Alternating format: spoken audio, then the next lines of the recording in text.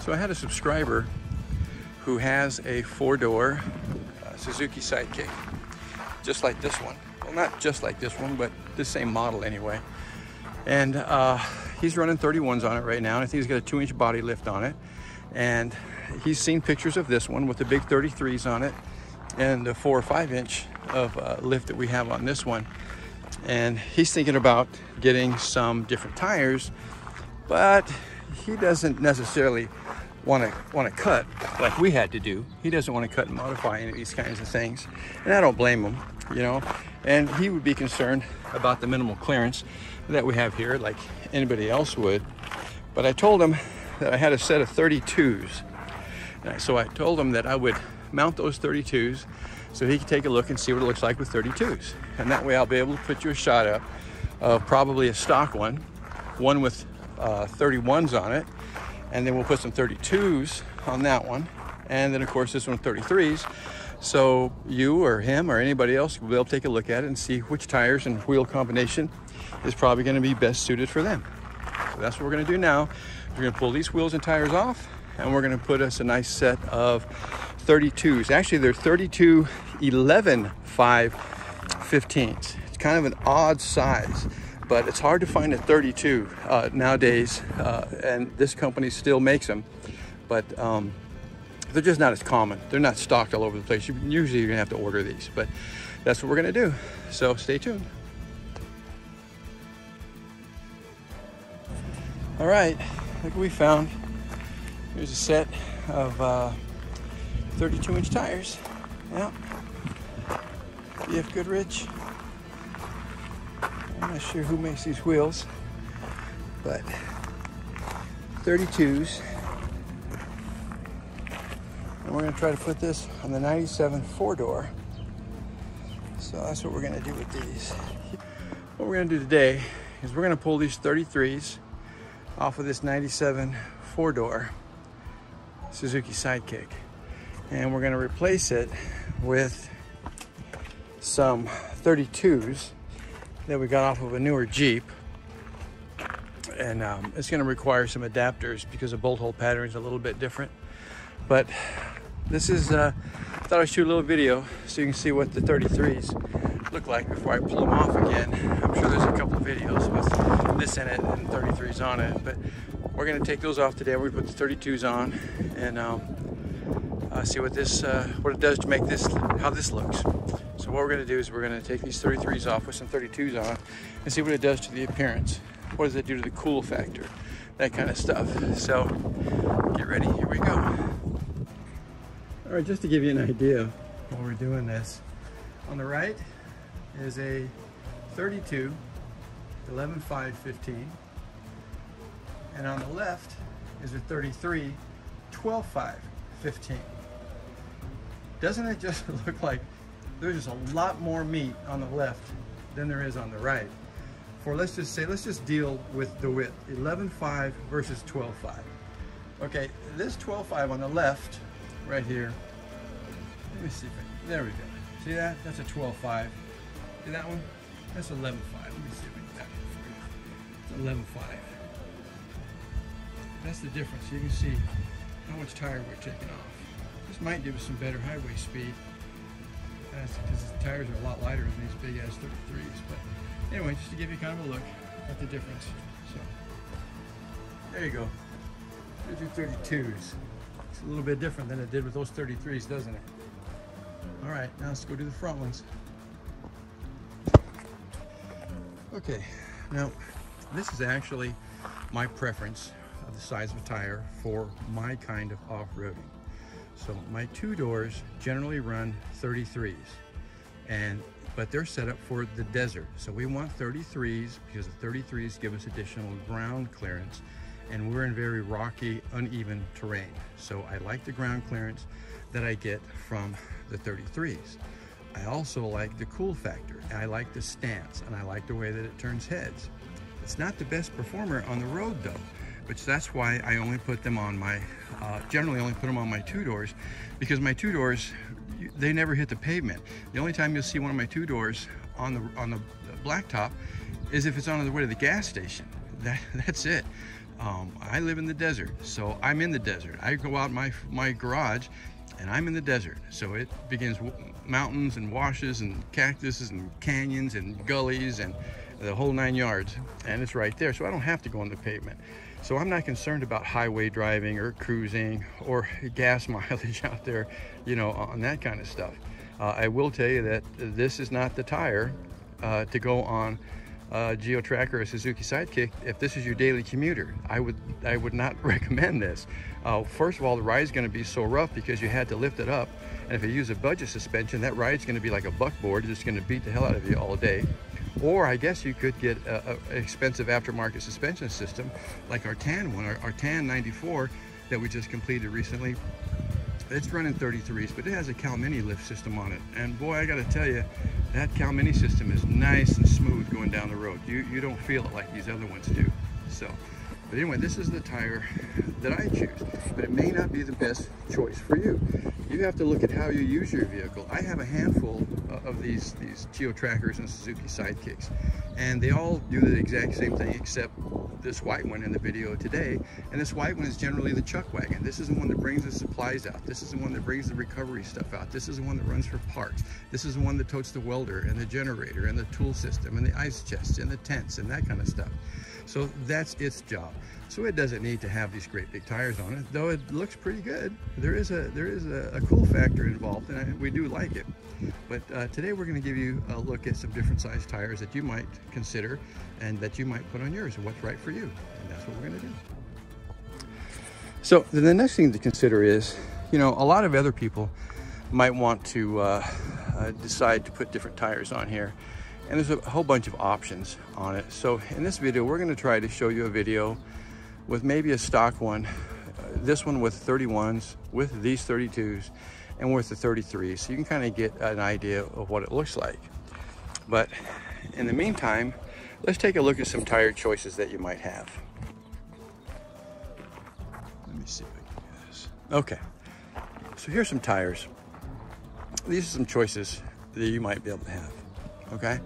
determining what best suits you based on your suspension, based on your lift, based on the stature or the stand of your tracker or Suzuki or your sidekick. So this right here, this first one right here is a 215-75 R15. This is generally a standard, considered a standard size on a uh, unlifted Geo Tracker or Suzuki Sidekick. And its dimensions, if I can get this to open up, So you can see, this is almost 28 inch tire, almost a 28 inch tire, okay? And then next to it, this is the wheel that when we purchased this uh, Sidekick right here, this white one, it came with these wheels on it. And this, uh, wheels and tires, and this tires right here is a 235 75 R15. And it is actually almost, almost 30 inches almost 30 inches tall. So just under, about 29 and a half, but almost 30 inches tall. This is um, what the, this one came with, were these on it, and the spare, the spare tire was actually a little bit smaller. And then the first thing we did is we put a budget suspension lift on it with the, the puck that goes on top of the springs and on top of the strut.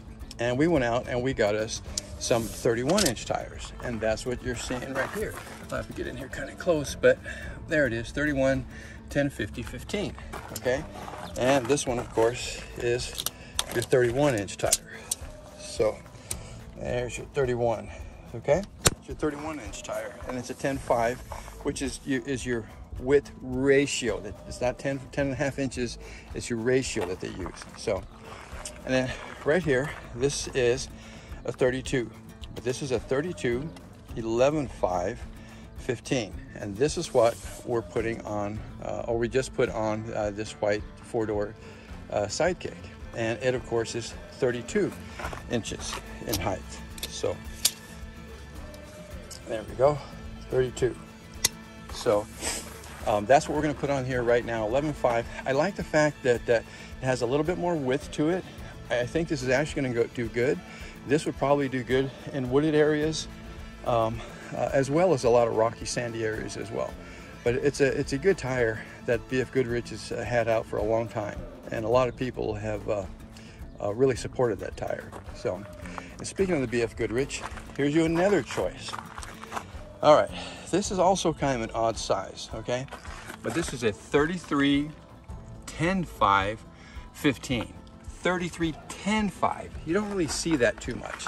And if you'll notice how narrow the, the tread is here. See, on here, this is an 11 5 and this is a 10, 10 5. And I'm actually gonna put these tires all side by side so you can look at the widths as well, because that has to be part of your decision-making process as well. But this is a 33 by uh, uh, 1050, so that's a tall, skinny tire. Now, in the desert, a taller, skinnier tire, especially for these little geo trackers, which are underpowered uh, as they are, um, and because of all of our rocky terrain, that skinnier tire a lot of times is, is, a lot better choice for us because it puts a lot less stress on your axles is what it does. We're not real heavy vehicles, so I don't have to worry so much about sinking down in the sand as much as say, oh, I, I don't know, one of the new Broncos or uh, one of the big old Chevy lifted four-wheel drive pickup trucks. Um, they, they're so heavy, they do sink in the sand a lot, but we're light. We're at 2,500 pounds for a two-door, maybe 27, 2,800 for a four-door, depending on your, your, your load that you're carrying. And so we do pretty good. And we can stay up on top of that sand a lot. And we do the same in the mud. We don't sink down in the mud as much as the larger vehicles do too. So we don't really need that width that a lot of the bigger ones do. And, uh, uh, and these are our choices. Okay, now with each of these tires, with the exception of the two little tires, um, I'm gonna put in uh, still photographs of this white Suzuki with those different tires on it. This white Suzuki has uh, sported these 31s, it's sported these 32s, it's sported these 33s, and until yesterday, it was sporting these 33s. Yeah, that big daddy right there. Look at this one's even still got the print from being new. I haven't even put it in rotation yet. So, but that's what we're gonna do next. We're gonna go across them. I'm gonna put them side by side so you can see the different widths and you can see the different heights in all of them, okay? Okay, so here's a side by side of your tires, okay? So the first one, you can see the width, is a 215-75 R15. The next one is a 235 75 R15. The next one is a 31 10.5 R15. The next one is a 32 11.5 R15. The next one is a 33 10.5 R15. And the last one is the big daddy here, the 33 12.5 R15. Now you can see them all. And you kind of see, kind of get an idea what's on the on there now with that 11.5. So you can kind of see the difference that it would make. So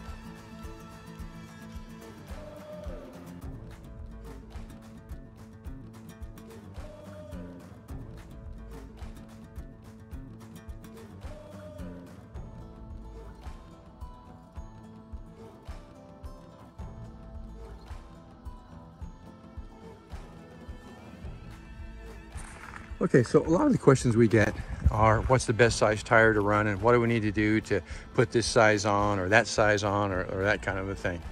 Well, in this particular case, a subscriber asked uh, to see what does the four-door Suzuki Sidekick or Geo Tracker, the four-door, what does it look like with 32s on it? They've seen the 33s on it. We've had several videos with it with the 33s on it. But what's the 32s do to it? And this is what the 32s are. These are 32, 11.5, 15 BF Goodrich TA radials. standard BF Goodrich has been around for a long time, the good old BF Goodrich TA radial. So this is what the 32s look like. So as you can see here, the clearance right here is twice as what it was on the 33s. But I still do believe that you would have to trim your fenders out. And I also believe that you're gonna have to do a suspension lift. See the cup on the bottom of the top of the spring right there and the cup on the top of the strut. And you're gonna have to do a body lift. And you can see right there, the little uh, frame that we make our own uh, we just did a video on doing the body lift and that's what your body lift looks like. So that's gonna give you about four to five inches of lift right there. And that's the clearance that you see right here. So this is 32s, 32 inch tires, 11.5 15s with four or five inches of lift, but they're budget lifts. So this is what it's gonna look like and how it's gonna uh, stand. This will be your stance. And it's not so bad, I'm, it's really not. And I haven't driven it yet to get what the mileage is because as you put larger tires on, your speedometer goes up. Like with the 33s, when we were doing 65, I believe it was actually 82 miles an hour. That is what we were actually moving at, even though our speedometer only read 65, but because of the larger circumference of the tire, uh, you know, in standard basic physics, we're moving faster. So these I haven't done yet. I might, I might be able to do that and take it out for a ride and, and just kind of clock that 55 and 60 and 65 and see what you're actually really getting. That would be interesting. So, all right. So there's your 32s. That's what your 32s look like on your four-door 97 Suzuki, four-wheel drive, lifted four or five inches. And that's what 32s look like. You can see that the, the space is a little bit better here. See that? You got a little more clearance. You definitely don't have to cut there. This is gonna work fine with that. Just like those 33s were.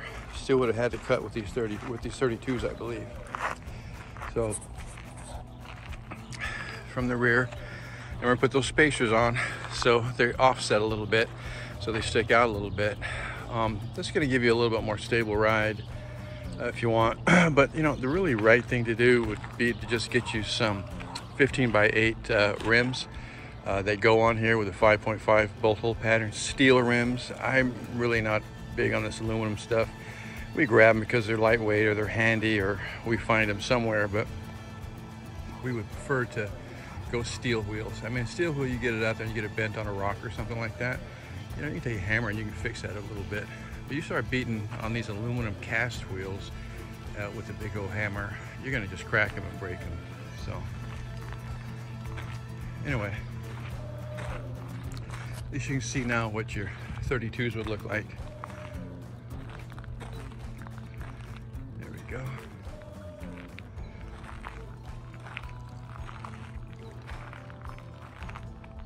But it's not a bad looking rig, even with the 32s. So I actually think I'm gonna just leave them on there. I like them. So, I like them. So there it is. One each. Suzuki Sidekick, Geo Tracker, you know, Escudo, whatever. Vitara with 32s. Look at that sunset in the background. See, this is Arizona. You see that sunsets? That's what sunsets are about. See that? Look at that. Look at that big sky.